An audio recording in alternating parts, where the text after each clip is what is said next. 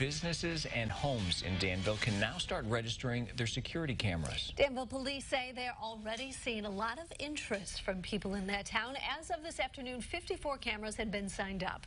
It's all part of a new program police launched to help them with investigations. WCIA 3's Courtney Bunting is here now. And so, Courtney, what does it do for police? Yeah, Jennifer, well, it lets them know there's a security camera at that location. They say it's important that people know they won't just be watching that footage all day. They only access it for investigations. Now, the sign-up process is very simple and only takes a few minutes. All people have to do is go on the city's website, put in their information, and plot their location. Commander Doug Miller pitched the idea to the police department. He says the response so far is encouraging.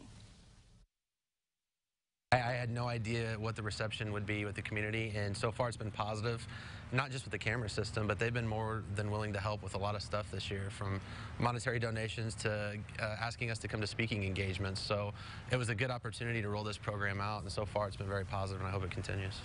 When a camera is registered, all someone has to do, all police have to do is type in an address to find out which cameras are nearby.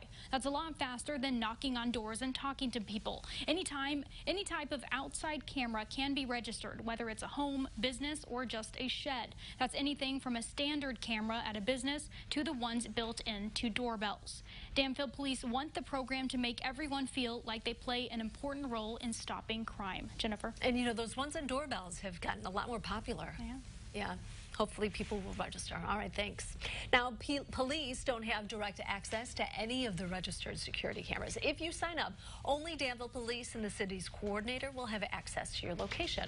For a link to the registration page and more information about the program, just go to our website at WCIA.com.